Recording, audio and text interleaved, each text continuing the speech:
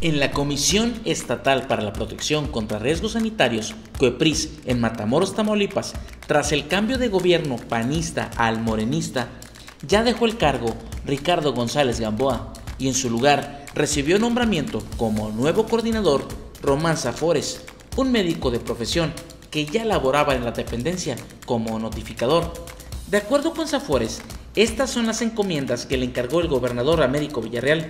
Pues son aquí en la, en la COEPRIS tenemos la, la, cuestión de los programas, metas, en, en, cuestión de salud, de la protección contra riesgos sanitarios en los diferentes giros que manejamos.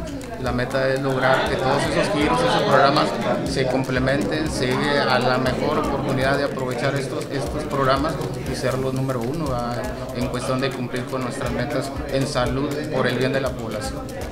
Durante la entrega del cargo estuvieron presentes empleados de Coepris e invitados como el nuevo director del Hospital General Alfredo Pomarejo, Gerardo García Salinas, y uno de sus amigos, Emérico Villarreal, coordinador de la campaña de la hora gobernador. Tengo en esta ocasión como un amigo.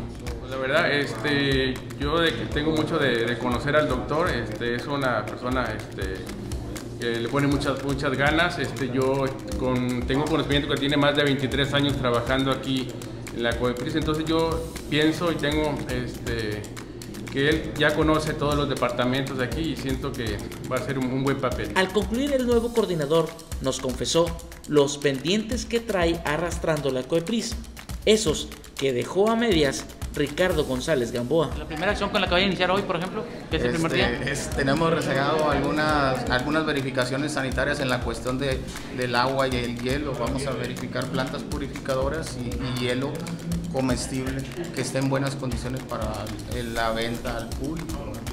Gracias. Sí. Emisor